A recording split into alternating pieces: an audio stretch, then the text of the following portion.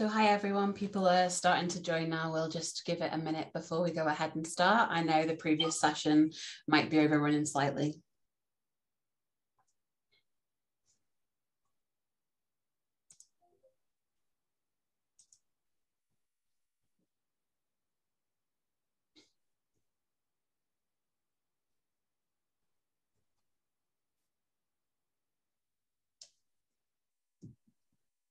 So we'll just give it another 30 seconds before we start and then, and then we'll go ahead and start the presentation.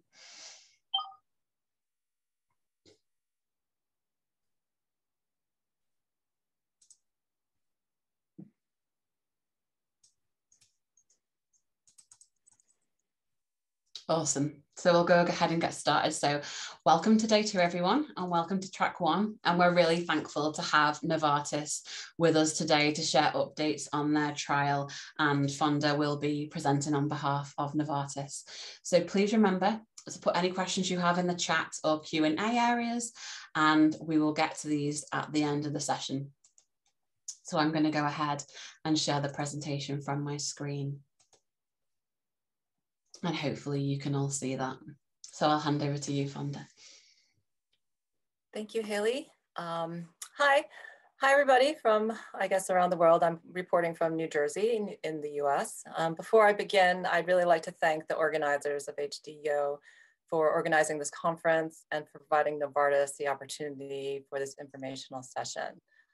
Today, I'll be speaking about branaplam, which is Novartis's investigational oral Huntington lowering therapy for Huntington's disease. Next slide, please. So over these last two years now, I think we're all much more comfortable interacting with a screen. However, I think it may be helpful for some of you to get to know the person behind the screen. So my name is Fonda Liu, and I am a clinical development scientist. Um, I'm a pharmacist by training.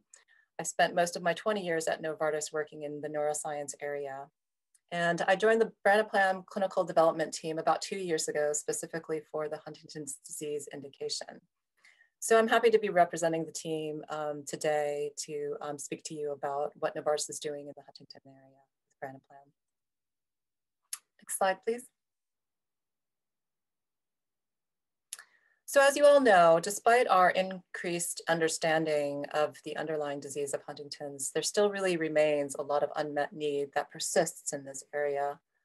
The current treatments available are really focused on managing symptoms, and the results of these current symptomatic treatments are really suboptimal, and they can often have side effects that worsen other symptoms. So there are no current, currently, there are no disease modifying treatments available that delay the onset or slow the progression of the disease. So I think the holy grail of, um, of looking into Huntington's research is a cure, but if a cure is not available, then it's the disease modifying treatments that are really um, sought after. Huntington lowering therapies are really among the most promising approaches currently in development for slowing the progression of Huntington's. It's well established that mutant Huntingtin protein is the cause of the disease onset and progression. And the benefit of lowering uh, the mutant Huntingtin protein has been demonstrated in numerous animal studies. And this includes certain mouse models um, that have demonstrated disease, delayed disease progression, so a slowing of the disease onset of the, or the progression of the disease, extended survival, um, prevention of brain atrophy or uh, brain mass loss, and improve symptoms. Because of this, many of the therapies in development are focused on lowering the mutant Huntingtin protein. Next slide, please. One of the things that we've learned in the last 10 or 20 years from observational studies, so these are studies that track and monitor the patients um, looking specifically at the disease course without an investigational treatment or intervention is that brain atrophy, or in other words, brain shrinkage, comes before the start of any symptoms that are associated with Huntington's disease. Some of you may be familiar with these graphs, but if you are not, let's start on the graph on the right. I'm sorry, the one on the left. So the x-axis or the horizontal is the time course, and on the y-axis, the horizontal, we see the brain region volume as a percentage of baseline from zero to 100. By the time someone is diagnosed with manifest Huntington's disease, and this is demarcated by the vertical line um, noted as motor diagnosis, there'll be a brain loss of about 50% of the striatum. Um, so this is the red line that you see um, sloping downwards. Um, the striatum is a part of the brain that coordinates motor um, cognition, including motor movement and action planning. Um, there are also significant losses in other parts of the brain, uh, the white and gray matter of the brain regions noted by the other colors and other areas that you see on the graph. However, by reducing Huntington, mutant Huntington in the brain, it should slow the progression of symptoms of Huntington's disease, including the brain shrinkage or the brain atrophy. So if we turn our focus to the graph on the right, um, similarly, the x-axis or the horizontal line is um, the progression of time. In this case, it's the disease course, starting from a pre-symptomatic, moving on to prodromal, and then Huntington diagnosis and stages of the Huntington's path, um, disease. And then on the y-axis, the vertical line, we see um, uh, the functionality as well as signs and symptoms. So over the course of time, the functional abilities noted in the, the blue line um, decrease over time, especially after the diagnosis. Whereas the signs and the symptoms increase in um, their presentation and the frequency or the severity over the course of time as well. So the idea here is to spend more time in the pre-symptomatic, prodromal, and early stages, um, that thereby maintaining functional um, abilities for longer and, um, and keeping the signs and symptoms at bay um, with the um, slowing of the progression of the symptoms. Next slide, please. What separates branaplam from the other investigational treatments that have been studied thus far in um, people with Huntington's disease is that it is given orally. The investigational ASOs or antisense oligos are administered by intrathecal injection. So this is an injection into the spinal canal whereas the gene therapies are typically one-time injections intracranially. So branaplam is the first oral Huntington lowering therapy to be studied in people with Huntington's disease. Next slide, please. So how does branaplam work? So the full-length Huntington mRNA has 67 exons, and they connect together during a process called transcription. So without branaplam, all of the Huntington exons connect together, leading to normal levels of the Huntington protein. However, when branaplam is administered, an extra exon or a pseudoexon gets included. So this is demarcated by the exon 50A that you'll see. And when it gets in, and the pseudoexon introduces a stop codon, which signals to the mRNA to degrade before it can be translated to the Huntington protein. So this should lead to lower levels of the Huntington protein. So in summary, essentially, after administration of branaplam, this should lead to an increase in uptake of the pseudoexon to the Huntington mRNA, signaling degradation of this Huntington mRNA, and then leading to lower levels of the Huntington protein. Next slide, please. So when developing an investigational compound, the target engagement, or seeing if the drug works as it should, is first tested preclinically or in animal models. So specific mice models um, developed for looking into Huntington compounds were dosed with oral branaplam, and then the amount of this pseudoexon was measured in key areas of the brain. These mice received three oral doses of branaplam over one week. Um, and then it, what was um, seen was that branaplam modulates the Huntington level in key brain regions, specifically the striatum, the cortex, and the thalamus, in a dose-dependent manner. So what we're basically saying is that there is a dose-dependent increase in the uptake or the expression of the pseudoexon in the Huntington mRNA. Next slide, please. So what happens further downstream with the Huntington protein? Um, more mice were dosed with oral branaplam for three weeks, and, the, um, and what was measured was the mutant um, Huntington protein itself. And this was looked at both 24 hours after the last dose and 72 hours after the last dose. And there were two doses that were being studied in this as well. So we see a dose-dependent decrease in the Huntington protein. So essentially there was more decrease with the higher dose of 24 milligrams per kilogram compared to the 12 milligram per kilogram dose. What was also important to note is that the actual amount of lowering was greater three days um, after the dosing compared to the first day. So the 72 hour sample had more lowering of the Huntington protein than the 24 hour sample. So thus that we, we see from these animal studies in mice that branaplam is showing the target engagement. But then what happens in humans and in people? Next slide, please. So many drugs that are in use today were actually originally developed for a different purpose. Um, branaplam is such a case in point. Branaplam was first developed to, for use in infants with SMA. SMA, or spinal muscular atrophy, is a genetic disorder affecting central and peripheral nervous system and voluntary muscle movements. Type 1 is a more severe form where the symptoms are diagnosed in children from, the, uh, from their birth to six months of age. Blood samples from these infants were analyzed um, from this study, and it did show an increase in the uptake of this extra exon, and it also showed lowering of the normal Huntingtin protein, uh, normal Huntingtin mRNA in these patients. What's also noteworthy is that um, branaplam has demonstrated good safety and tolerability in these children in this study, and some have had more treatment for over six years.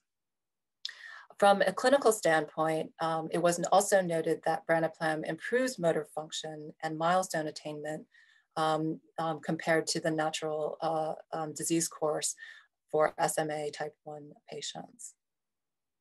Next slide, please. So, so far we've discussed the preclinical or animal models as well as the target engagement in a different population. So then how does the treatment get studied in people with Huntington's disease? So this slide just walks us through what the standard clinical trial phases in drug development are.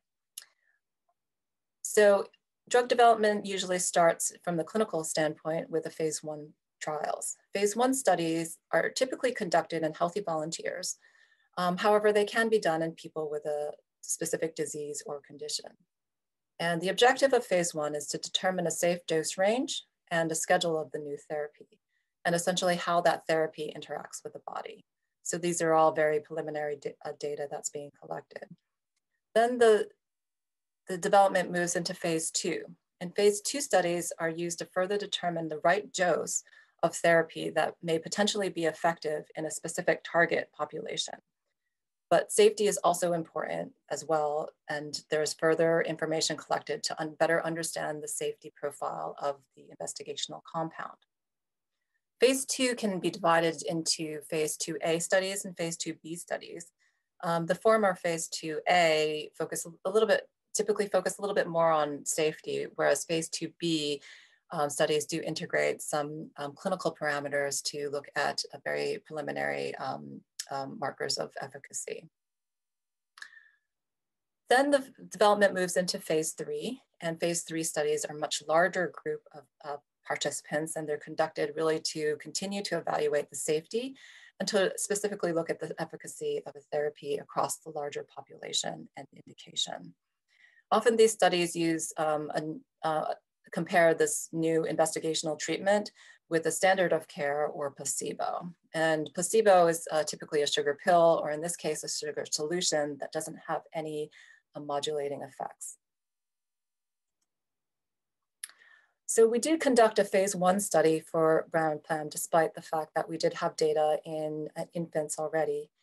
So the who, what, why of this study was um, is located is noted before you. We did uh, include 32 healthy male and female healthy volunteers or subjects. They were enrolled in four dose cohorts, eight per cohort. It was placebo controlled, so there were six on branaplam and two on placebo in each cohort. The objective of this was to, again, look at the safety and tolerability and the pharmacokinetics and pharmacodynamics of branaplam um, across uh, the, the dosing range.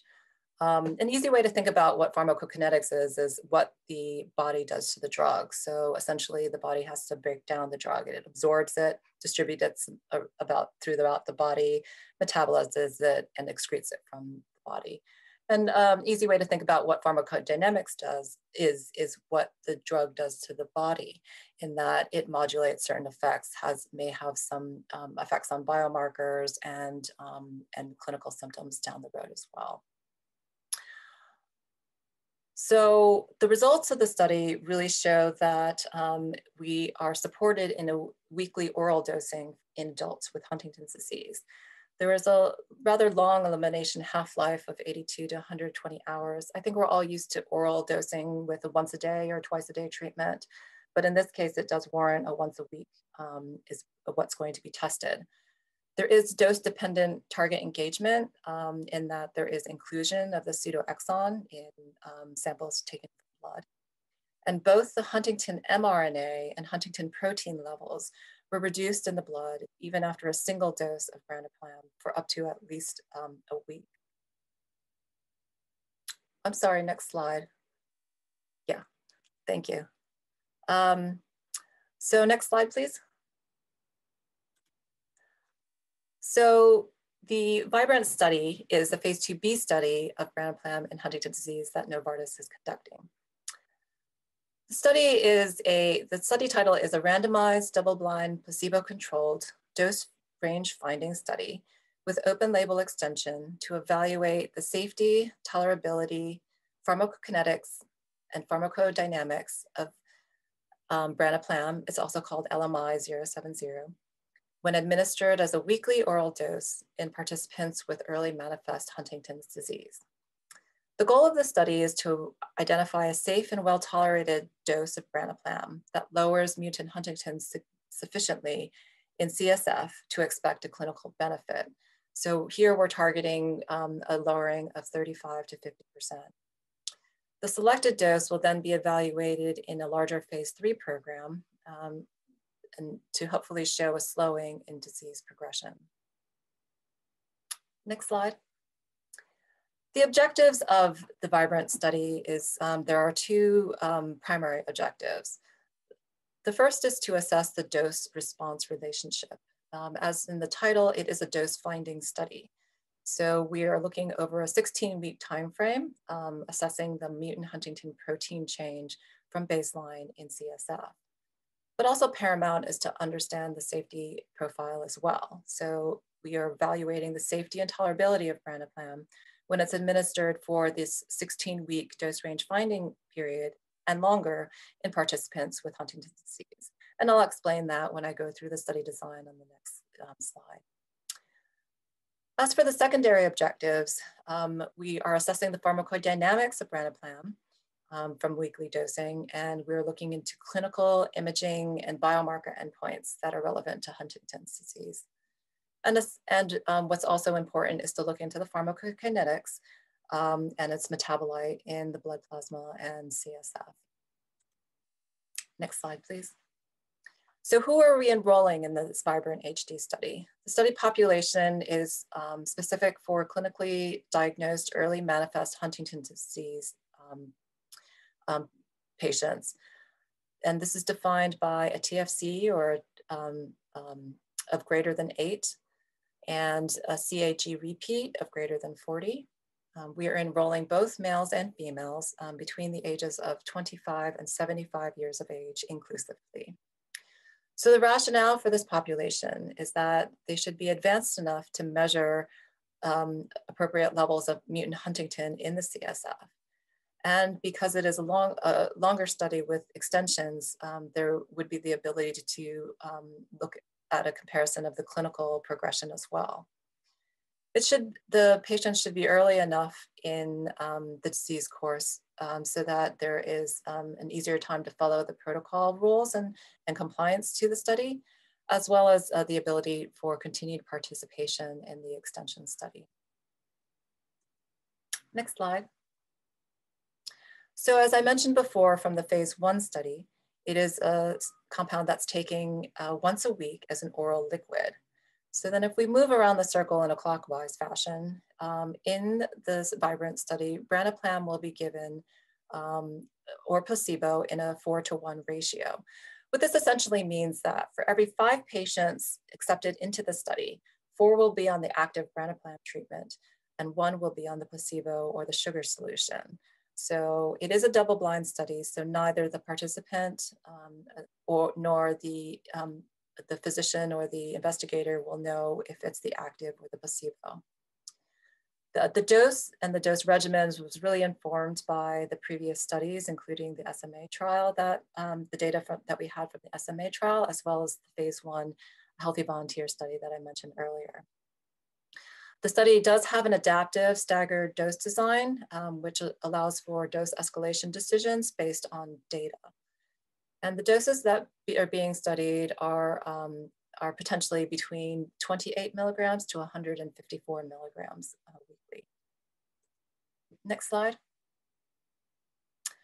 Okay, I know this is a busy schematic, but if um, but let's break it down stepwise. Overall, the study will be recruiting approximately 57, or I'm sorry, approximately 75 patients, 25 in each cohort. It is a three cohort design study. The study begins with cohort one with a 56 milligram dose. So it would be 56 milligrams um, on active branaplam or placebo when a four to one ratio, as I mentioned earlier. What happens next is you'll see that's noted by the star, a cohort gating assessment. So once a certain number of patients are recruited and a certain amount of data is collected, there will be the assessment um, uh, looking at the data to decide whether or not it's prudent and safe to proceed to the next cohort. Cohort two would then um, increase the dose to 112 milligrams. What's important to note is that um, the data are also being monitored by an independent data monitoring um, committee. And what comprises this committee are external experts who are looking at the um, data from an unblinded fashion as well. So once the progression moves to cohort two, moving from cohort two to cohort three is very similar with another cohort gating assessment looking at a minimum number of patients and data to see whether or not um, to, to, move into cohort three. The difference here is that um, it is a flexible design in that there are three potential cohorts that I could be moved to. And this was to allow for flexibility depending on um, the safety profile that we were able to see. It will include the highest dose, a mid-range dose, and a low dose as well. And again, that will be, um, um, the data are being reviewed by the independent um, data monitoring committee as well. So that's the overall um, flow of the study from, from an overarching point of view. But what happens specifically from a patient point of view is that when a participant is interested in this study and they sign consent to want to be potentially be involved, there is a screening time that um, assessments are done to see if the patient um, and participant is really eligible for the trial. If the patient is eligible, then they will be um, randomized and enrolled in the trial to either the active or the placebo.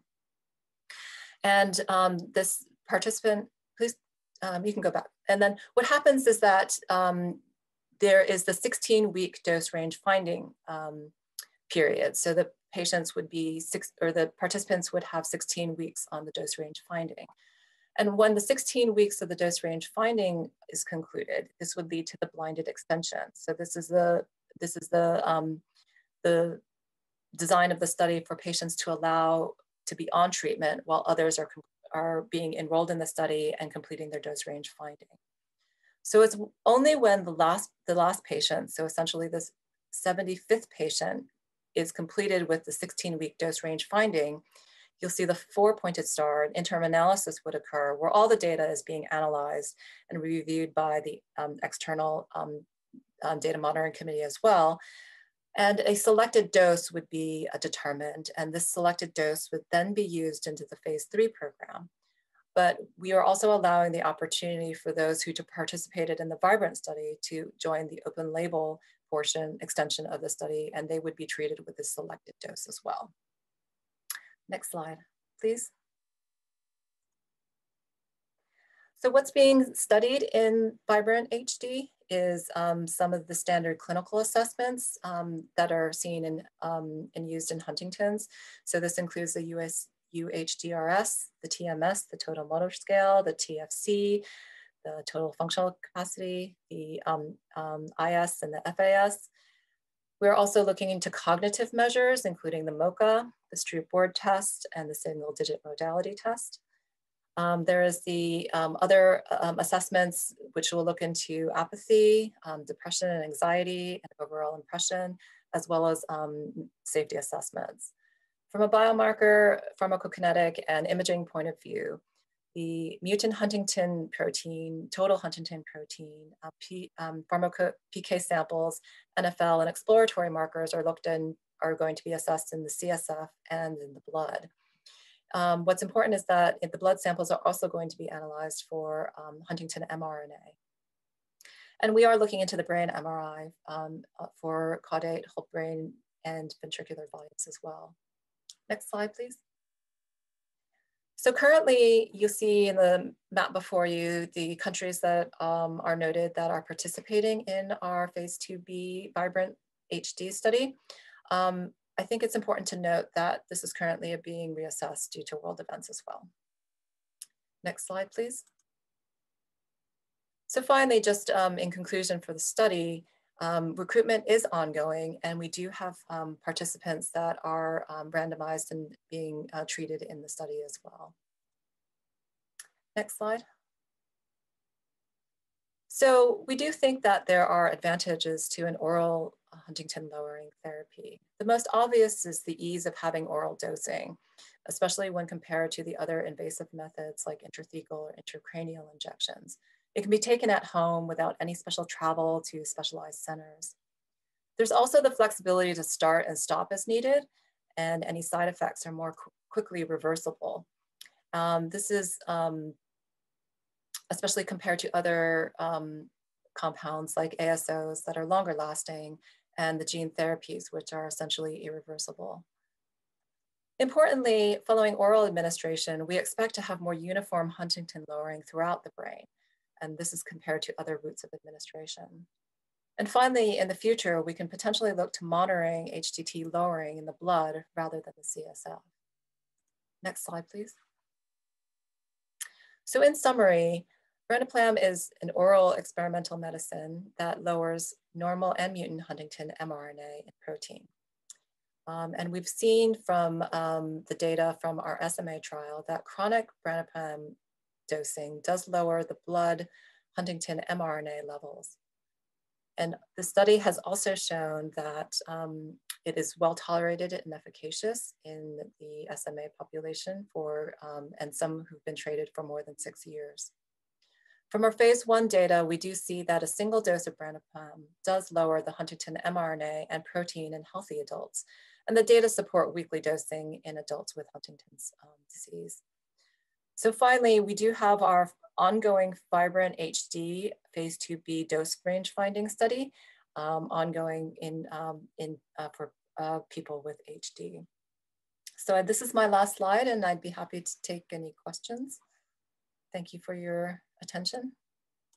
That's awesome. Thank you very much, um, Fonda. So we do have one question in the in the chat. So that was when you're referring to the mice earlier on. What age were the mice when they were treated, and when was the behaviour analysis done? And that's from Baravi, who's who's a scientist that volunteers with HDYO. Yeah, I think we'll have to get back to you on that one. I don't have the actual fine. specifics of it. Yeah. No problem at all.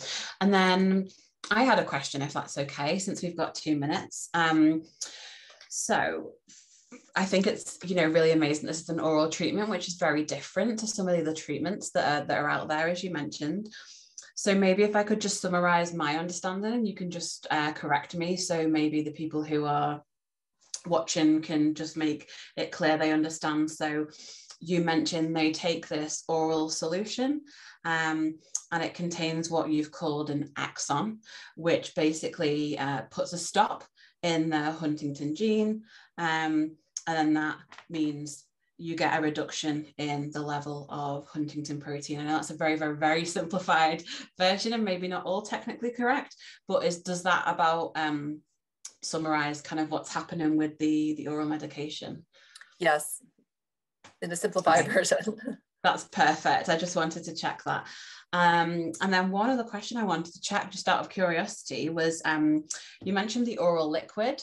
Just wondered, um, maybe it depends on dose, but um, how much is that oral liquid? Is it like a spoonful or a syringe, or how does that kind of work?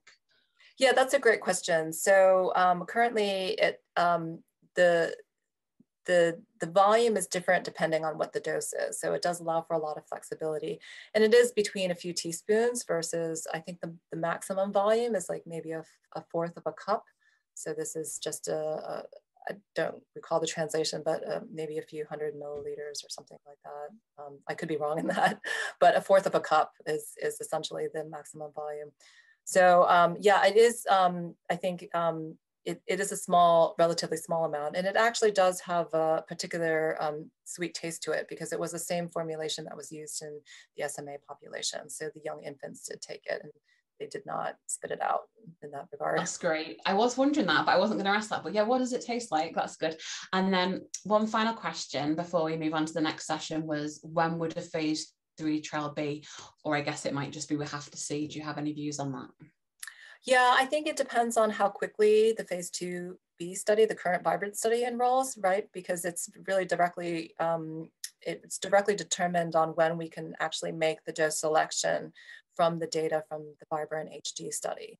So mm-hmm. if it recruits very quickly, then um, obviously the phase 3B, the phase three study would start um, sooner. But um, if it takes some time to um, to recruit for these patients, then it would take a little bit longer. But the the the really um, the the key here is really to get the right dose to study in the phase three program. Awesome. Thank you so much, Fonda, and thank you to Novartis. I really appreciate you taking the time to update us on your trial progress today. And just as a reminder, you can finish, uh, you can visit, sorry, Novartis at their booth in the exhibit hall. So thank you again. Um, yeah, thank so you for the now, opportunity. Yeah, no, of course. Thank you, Fonda. Um, Good afternoon. So we now